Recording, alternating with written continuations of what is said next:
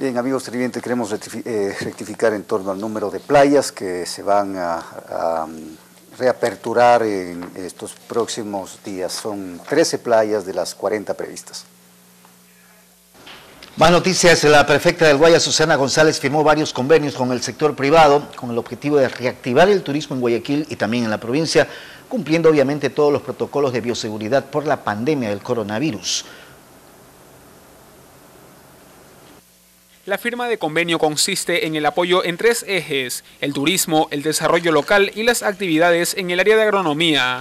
Todo bajo una gran visión de que la academia debe apoyar hacia los grandes avances que este país necesita, viendo siempre ese desarrollo sostenible. Además, con el acuerdo se busca reactivar económicamente a la provincia a través de la gastronomía.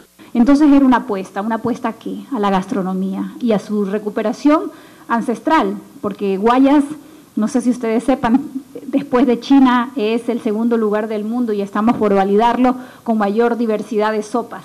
Por ahora hay un comité que analiza la situación del sector gastronómico y turístico que luego presentará un plan a la prefectura sobre las diferentes actividades que se puedan desarrollar cumpliendo con los protocolos de bioseguridad.